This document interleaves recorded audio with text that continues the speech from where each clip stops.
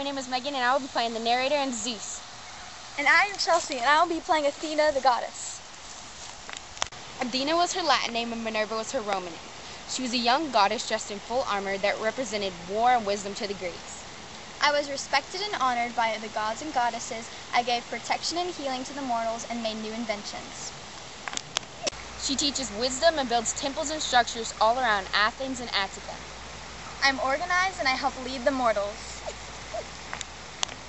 From the head of Zeus.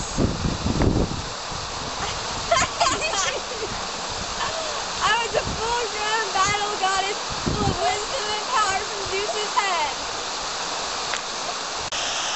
The realm which I preside and the temple that she rules and lives in is the Parthenon.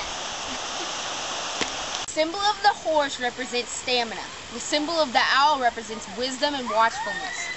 The symbol of the olive branch represents her highest achievement. The symbol of the snake represents my creative power during battle, and the symbol of the eye dress represents my protective power. The Athena Hotel Company pursues Athena's wisdom and power of strength during battles and wars. The Athena Health Insurance, Building Company, and Tools and Engineering were also companies that were inspired by my insight and intellect. The works cited pages help us acquire the information to make this video possible. And remember, I was one of the greatest known goddesses of my time. The end.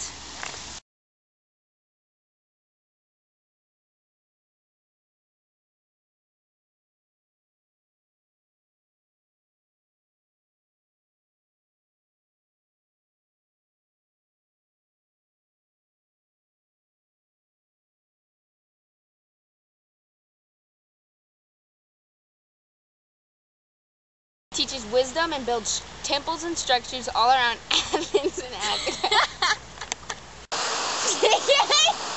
Cut!